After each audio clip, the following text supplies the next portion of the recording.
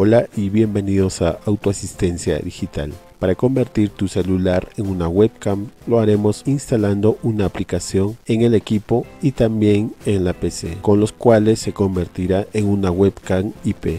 Para lo cual primeramente deberemos de acceder a la Play Store desde el celular. La aplicación es DroidCam. La vamos a instalar. Aceptamos los permisos necesarios. Y una vez instalado vamos a abrirlo. Como siguiente paso también vamos a acceder desde la PC a esta página web.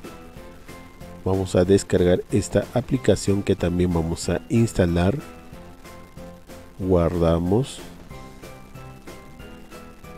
Igualmente también le damos los accesos necesarios y luego instalamos y una vez concluido vamos a decidir si queremos la conexión vía Wi-Fi o vía USB.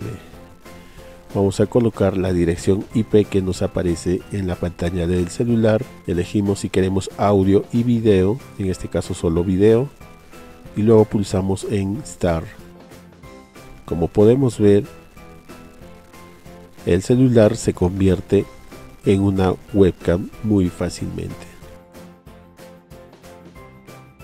Bien, hasta aquí por este video. Si te gustó o te ayudó, déjame un like y recuerda suscribirte al canal. Hasta el próximo video. Para más información de los tutoriales, visita autoasistenciadigital.com y recuerda compartirlo en tus redes sociales y también activar tu campanita al suscribirte. Mi nombre es Omar y gracias por visitar mi canal.